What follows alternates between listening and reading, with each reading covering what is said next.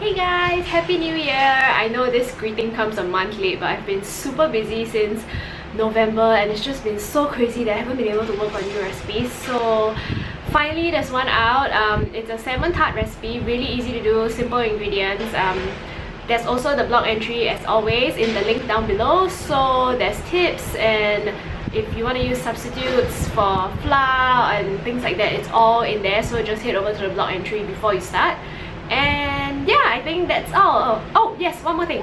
Um I realized I put out the sneak peeks for the ebook and then I completely forgot to put the link out for you guys. So the link will be down in the description box as well if you'd like to take a look. And say hi he's gotten so big. Sit hi.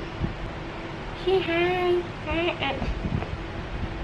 Yep okay so that will be all. We will see you guys next week hopefully and yeah have a great weekend ahead